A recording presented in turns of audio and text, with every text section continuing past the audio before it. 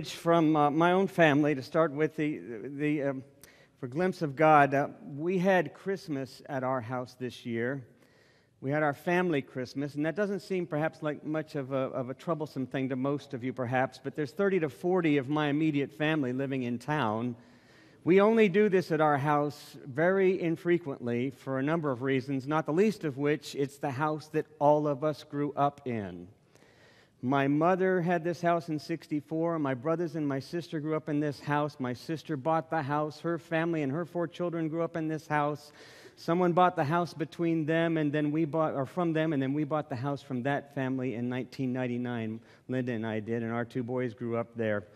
In the last, since 1964, in those years to this date, only 10 years has this house not been in our possession. The neighbor, Dave, uh, Bill Davis from the Davis Fence Company, when we moved back in in 1999, he came out of his house. He looked at us and said, Don't you McDermotts know this is a city here? There are all sorts of neighborhoods. of course, he is now in the third generation of Davises living in his house next door to us. There's a bit of anxiety about having all the family over to your house, this fa- to, the, to their house. This family is, this house is theirs, and, and you're the keeper of these memories and the keeper of these histories. And there's a little anxiety about that. What each, and the worst part of it is, is that as ministers on, on Christmas Eve, we're panicked, we're crazy that whole season up to Christmas. We barely have time to get the downstairs clean. Everything goes upstairs. I mean, the dogs, the books, the instruments, the went random, everything is upstairs. We have hardly any time. The downstairs is clean. I wake up on Christmas morning. Christmas night is when we'll have the party. Christmas morning, I wake up, I look at Linda, say, Oh my God, my nieces are coming over. Every time they've come over, before we can get to them, they run up to their bedroom. They want to remember. And I'm thinking, how's that possible? There's no room for memories up there. I mean, we've just crammed it. And so we put a gate across the top of the stairs. On Christmas evening, by the time I've got things cleaned up in the kitchen and we're running back to the door, the nieces are already up the stairs. My, my grandniece or, or, or their daughters come down and they say, Your dogs are really nice. And and I'm thinking, what about the rest? And they said, you know, that hopefully they didn't see the rest of it. But my, my, my niece assures me all I remember is just the memories. I didn't see anything else, but I know the worst is to come. And, and then I think about the others that will show up, and I worry about, uh, about my uncle. My uncle, one of my two uncles, uh, who some years ago moved to Israel, and all we heard of was a letter that came from him to the family on Christmas Day. It was read to the family years ago, and it said, I'm living in a cave in Amman, Jordan, waiting for the second coming. He discovered that he has Jewish roots, and he was allowed to buy up residence there because he had Jewish roots. My other uncle, his brother, said, We're not Jewish. My, under, my wife and I were sending him Hanukkah, Hanukkah cards for the next several years. But he didn't see the humor in it. But we worry now because he's been living back in the States. You never know what conversation will strike up when my uncle starts up into a conversation. All these anxieties. The second person to arrive after my nieces is my nephew, 35 year old nephew of my older, my son, uh, the son of my older brother. And he's 6'3, he's 250 pounds. He has a deep, dark black beard, huge, long black hair. He's wearing camo jacket and a camo cap and jeans. He looks like one of the guys from Duck Dynasty. I, and I think maybe he is somehow, and he's sitting there in the kitchen and he's wondering if we had beer. And of course, we have some beer in the kitchen, the refrigerator. And I said, Of course. And then I'm wondering, what are we going to talk about? And somehow I just think about it and I say, You know, we've had a squirrel problem in our house. His face lights up. and for the next hour, we're talking about poisons and guns. My family has a whole mixture of individuals in it that just astonishes me sometimes in many more ways more than one way. Because, I mean, in my family, there are libertarians, there are die-hard Democrats, there are dyed in the wool Republicans, there are gays and straights, there are doctors and lawyers, there are self employed laborer, er, laborers, there are, are, are pharmaceutical representatives and lab directors who actually direct the research for the same pharmacies. It's such a diverse group. Uh, there are an atheist or two in my family, and then there are at least two Methodist ministers that I know of. some of them are wealthy, and some of them in my family have actually had hard time on the street. And when they're all gathered there, we somehow make it work.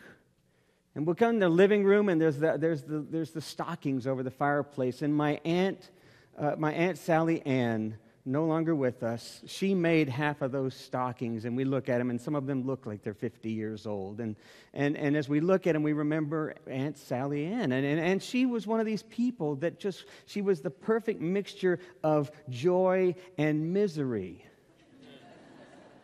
she had a laughter that could resurrect any pain or sadness, completely erase it. But she had an opinionated temper that was so stern and strict, she could level a city council. she had literally brought one hospital wing to its knees during her last days. And I remember being in Michigan, and I told this to some of the folks gathered the other night. I said, I remember being in Michigan as a storyteller. I was telling a story up at a festival up there, and this was some years back. And this storyteller stepped up and said, Oh, yeah, she was moving to Texas. And I said, Really? She said, Yeah, I, I just moved there. I've only been there for about a week. Came back up to do the festival because she was from Michigan. And she said, I moved to this little town. She mentioned the little town in the panhandle of Texas. I said, Oh, my gosh. That's where my aunt lives. And, she, and I said, well, well, you wouldn't know her. It's a pretty big town. And, and I said, and besides that, she doesn't cotton to people very well, and she's pretty well known. I mean, she's got a miserable temper. And she looked at me, she said, Sally Ann Davis?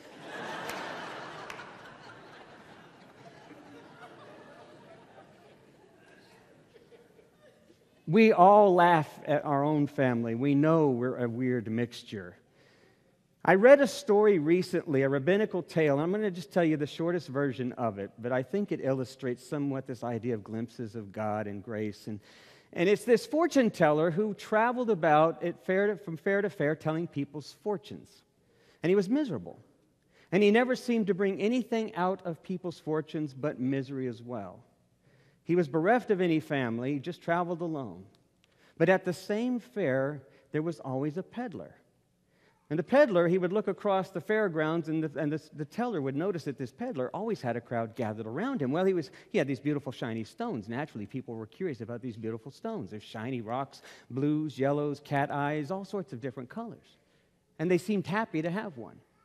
But the fortune teller himself never seemed to retain any of his customers. And it was probably because he said to himself he was telling the truth. Misery. You're going to have pain in your future. There's going to be misery. It's not going to be good. And of course, there was no repeat business. One of these fairs, he went over and he talked to the peddler and he asked him, he said, You know, what is it that you do? And the peddler said, It's simple. I sell polished stones. And then he looked at the teller and he said, If you'll tell my fortune, I'll give you one for free. Just tell my fortune. So the fortune teller did what he's always done, what he felt capable of doing. He looked into the peddler's eyes, and as he stared into the eyes, he said, All I can see are blues and slight browns, and then sort of like almost a galaxy of mystery back in the back of your eyes. I really don't see anything. And the, and the, and the peddler smiled and he said, Well, you've, you've told the truth. I don't know that I have much of a future. And he handed him a beautiful stone.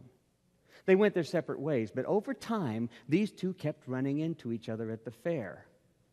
And over time, the peddler continued to give the fortune teller stones.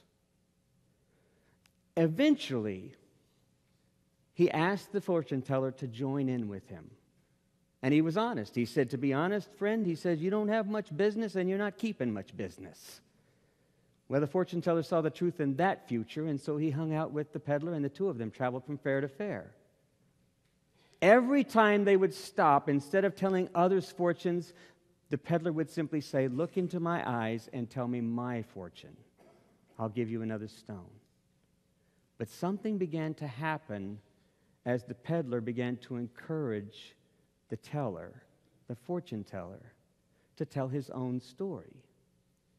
You see, as they would travel from fair to fair, the fortune teller couldn't help but notice in the back of the cart was this loud rumbling sound. And all the peddler would say is, It's the woes of the world tumbling behind us. And that's all he would say. But as the fortune teller would ponder this, what that meant, he would then look over and he'd say, So tell me about your story. How did you get to be a fortune teller? And over time, the peddler discovered that, of course, the fortune teller had had a very challenging life, had had a miserable, a, a, a sad, tragic experience. His own family had perished in a fire while he was gone away. But he would not talk about it, except for one thing. The peddler was never concerned about the future, but only about the present. There's something about people who are concerned only about the present that brings stories out. And so every opportunity, as the teller would hear the tumbling of the rocks and they traveled along, the peddler would simply say, Your family died, and that's such a sad thing, so how did you become a teller? And eventually the fortune teller said, I had to speak from the truth of my heart. And of course, that was simply pain. And the peddler said, For that I'll give you another stone. And he pulled off the side of the road and he raised up the back of the cart. And that's when the fortune teller saw what it was. You might have already figured it out. It was simply a machine that would smooth rocks over time. And as the rocks smoothed, they would become polished into various gems. There was one or two left, and he pulled one out, and then he told the teller to reach over with a shovel to the side of the road where they dug out some more dirt and rocks. The, the, the peddler took a sifter, sifted the dirt away, and then poured the rocks inside. And as he pulled one out, all it was was just a rock. It was jagged, it was covered. He said, When you're present, you can see what's really there. When all you think about is the future, of course, you miss what's really there. And then he put it back in the box, covered it up, and they began to tumble to the next town. Over time, the teller noticed that every time the peddler would give a stone, he always said a strange phrase. He would kiss the stone to the person who purchased it, and all of them different as though they matched that person's own story. But after handing it in their hands, placing it there, he would say, The grace of God is with you. The teller never understood that until after the peddler had died. And he himself took up passing out the polished stones. From that point on, he realized the key to seeing God's presence and grace was in simply being present. The future is always what it will be. The present is always what it's possible. And then he would hand a polished stone to the next person. The grace of God is with you. And when I gathered the family at the end of, of, the, of, that evening, as everybody gathered, actually right before our meal time, I gathered them all up and I thought to myself, what a strange gathering of people who, like the peddler's stones, every one of them have tumbled to this place who, like each of us gathered here, all of us have tumbled to this place where we find ourselves today. And like those folks that were gathered for the breakfast, not this morning, I wasn't in there, but a few mornings, a few Sundays ago on the 22nd, and there were various individuals of all walks of life gathered. And I remember someone coming to me and saying, How do I speak to that person? How do I talk to that person? And I smiled and said, It's not a whole lot different from some of your family. We're all tumbling. Maybe you just need to be present. You don't have to fix the future. We just have to be present. And so we reached out, took hands, and I gave thanks for the way in which my family has intentionally, for these years, chosen to look past every single difference and simply be present. Amen.